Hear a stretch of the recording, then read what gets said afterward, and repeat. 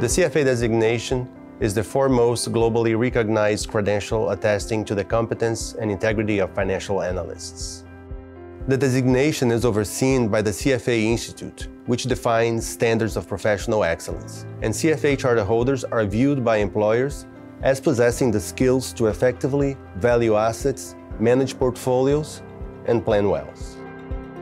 A core requirement for becoming a CFA charter holder is to complete the CFA program, which consists of completing and passing three exams.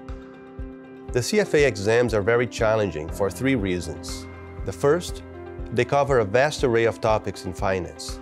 Second, they go in depth in all of these areas. And third, the questions are technical and conceptual. They're challenging and very complex. Passing these exams requires a combination of memory and intellectual power. You need to reason with the elements that are given in the problem and you have only a very limited time to complete each question. Data from the CFA Institute has shown that successful candidates spend over 300 hours preparing for each exam over a period of about six months. McGill's CFA exam preparation workshops are designed to help students significantly increase their chances of passing the exams. The philosophy of the workshops is to help the student understand that they need to do the heavy lifting in learning the concepts that are required in the exam day. What we do is to provide the materials, the tools, and strategies to help them prepare effectively and efficiently.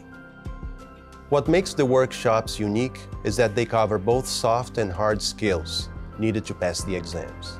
The soft skills are, for example, effective planning, monitoring progress, and staying motivated. And by hard skills, we mean taking quizzes on the spot, reviewing concepts, and troubleshooting challenging questions. Feedback to students is personalized, and students can actually schedule individual meetings with instructors for help with specific challenges they're facing.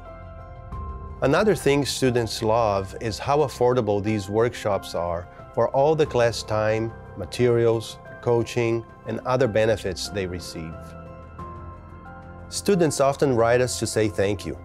Thank you for help tackling tough concepts, for help staying motivated, and they often write us to say they were able to pass the exam on the first try.